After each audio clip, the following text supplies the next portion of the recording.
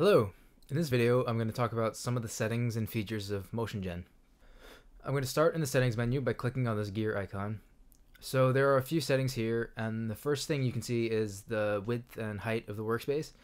So this can be changed to say 5 by 5 and you can see that the green rectangle that represents the workspace has become smaller. This is useful for a few reasons. Uh, one of them is that if you're drawing a mechanism over an image, the image will fit to the workspace area, so you can make this smaller or larger by changing the size of the workspace.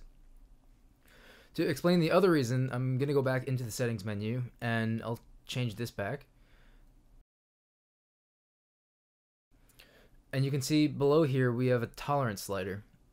These three controls, the width, height, and tolerance of the workspace, have an effect on the way dyads are interpreted in MotionGen. If I close the settings menu here, you can see that there are a few different options in the dyad menu. Of the two dyads I have selected here, you can see that one of them is actually very large. And because it's so large, uh, this RR dyad can be reinterpreted as a PR dyad, which fits much better within the workspace. You can see here that the motion is still very similar to the 4R linkage. Now the size and tolerance of the workspace will actually affect how these dyads are interpreted. If I open the settings menu and make the workspace very large, you can see that none of these dyads have been reinterpreted. That's because an RR dyad will only be reinterpreted if it's longer than 5 times the maximum dimension of the workspace. The tolerance affects whether it's reinterpreted as an RP or a PR dyad. If the fixed pivot point of an RP dyad falls within the tolerance of the workspace, it's reinterpreted as an RP dyad. Otherwise, it's reinterpreted as a PR dyad. So changing the size and tolerance of the workspace will affect exactly how the dyads are interpreted. Also under the gear icon, there are help and information screens that can give you some information about the app and they have a link to our website. Now moving across the left on the menu bar here, there's a button to delete a linkage. So that's pretty straightforward. If I draw a bunch of poses here and select a single pose and press delete, it deletes just that object. Moving further to the left, there are buttons to undo and redo the last actions, so I can undo and redo deleting that pose. To the left of that is the button to reset the view. So say I zoom out really far here, I can press that button and the view is reset.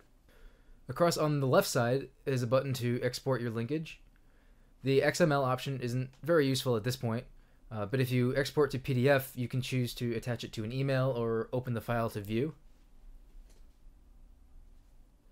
You can see here there's a picture of the mechanism, information about the constraints, including X and Y location and angle of each constraint, there's information about the linkage itself, including the X and Y position of each joint, and below that the length and angle of each link. So this can be very useful if you wanted to actually construct this linkage. Let me return to the app here and close this menu.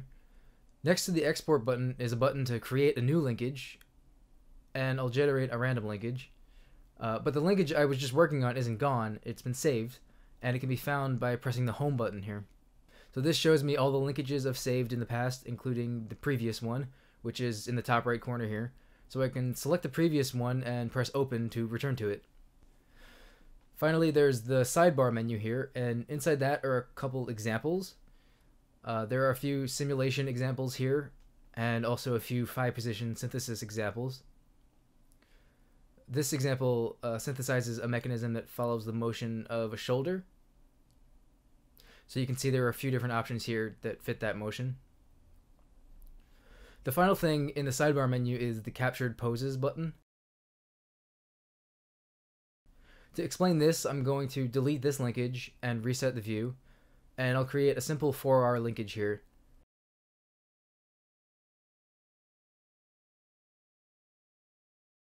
So now I can use the playback menu at the bottom here to capture the coupler position at various points.